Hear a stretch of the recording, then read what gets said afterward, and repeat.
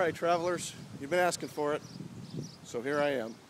Yes, I'm today at the world's largest basket, Dresden, Ohio. Check it out.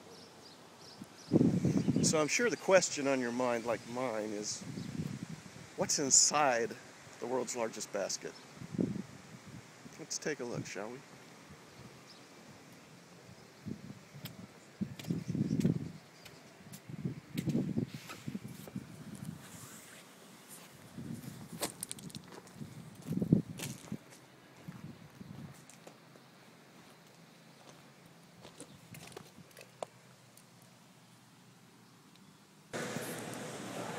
Okay, now we're just getting inside the world's largest basket. Almost, almost there, I think. Okay, here we go.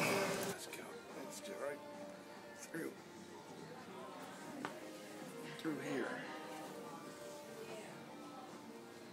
So they are giving equal time to dogs. We say eleven thirty. Hey, here I am inside. Actually, it's a little roomier than I thought. Actually, look, uh, you get around here and, and the roof is is much higher than than I thought it would be. Okay, let's let's look around the basket. Come over. All right, let's down here. See what's next. Man, this just keeps going on. Thing interesting I've discovered.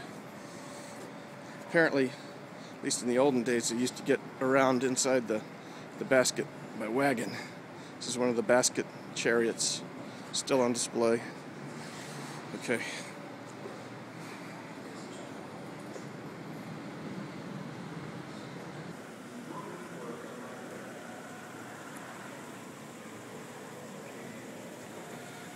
Okay, looks like I gotta go this way. Okay, then let's see. Down another corridor. Let's see. Should have brought some bottled water. Okay, now I think I've actually found Stay back here. the place where. No, no, no, that's okay. Me to take it for you? No, no, I'm. Okay, sure. Yeah, okay. I'm. Uh, thanks.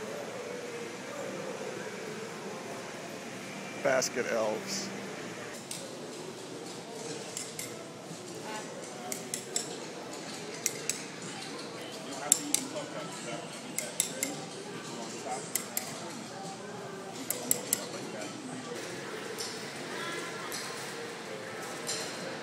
Okay, now apparently we're at the world's largest basket inside a basket.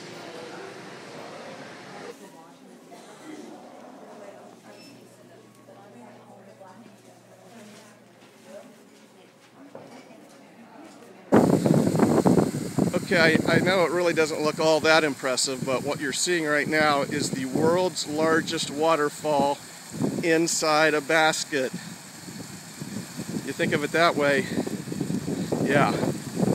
Yeah, I know.